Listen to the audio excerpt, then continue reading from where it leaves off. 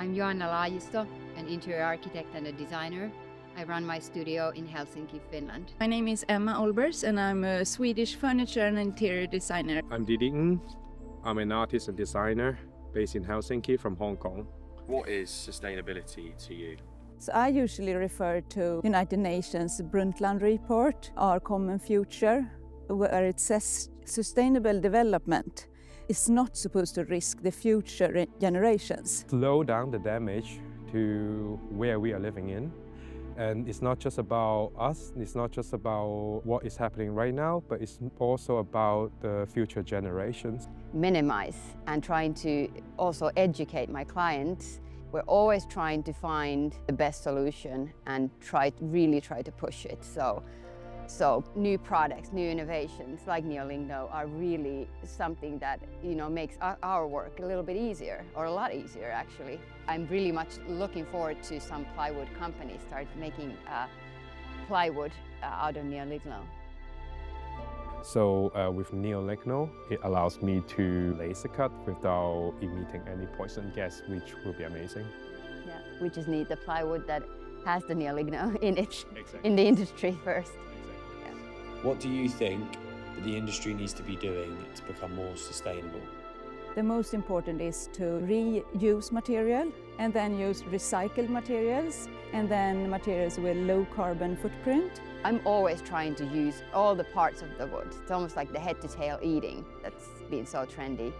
You can use every part of the wood from the roots to the trunk to the branches. It's also like a designer's uh, responsibility to use the more organic materials to make it become the trend, to somehow be being like a leader, like uh, to tell the world that organic materials can be something even better. But the problem is actually like they would rather use low-cost materials. I'm really glad that the European Union now have new uh, legislations that you have to lower the formaldehyde in the products.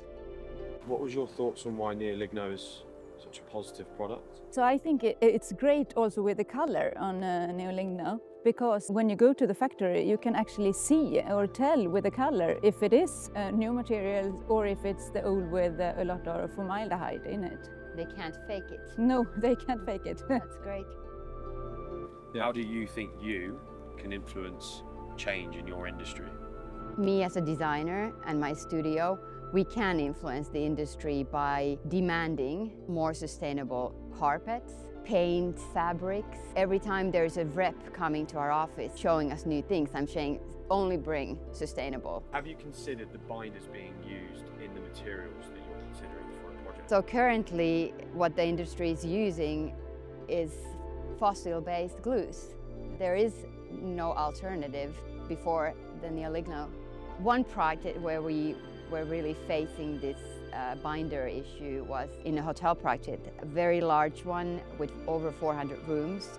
I designed a chair that I wanted to be carbon negative because it was over thousand chairs actually in the project and there wasn't any better alternatives except uh, fossil-based glues. If we had Neoligno, it would have been a perfect product.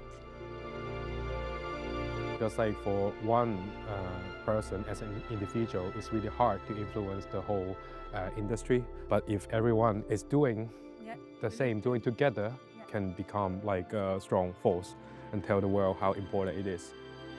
We designers really could illustrate the new green future.